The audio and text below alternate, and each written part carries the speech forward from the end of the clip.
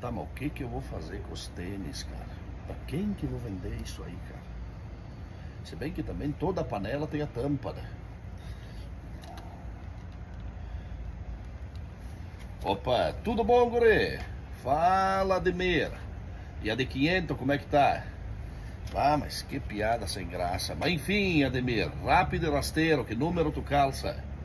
Não, não tô te seduzindo, cara. Tô te fazendo uma pergunta, que número tu calça? 42, pronto, tá respondida a pergunta. Então vamos agora pro assunto. Seguinte, Ademir, tu que é um guri assim moderno, que acompanha as tendências.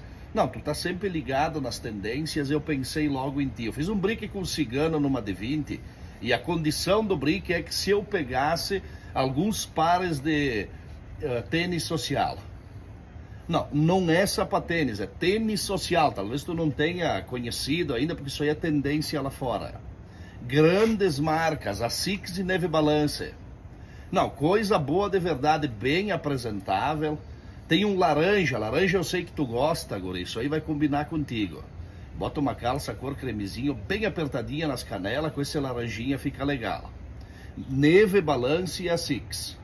Deve ter o quê? Eu acho que uns cinco par, mais ou menos.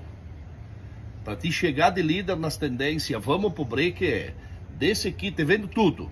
Eu estaria pedindo cinco pila. Podia me pagar uns três na borracha, o que fica duas lâminas de cheque de mil. Para facilitar, fica bom para os dois.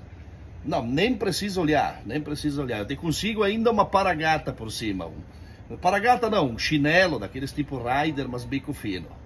Fechamos? Então fechamos, Ademir. Manda um abraço para de 500. Tá bom, querido? Abraço. É.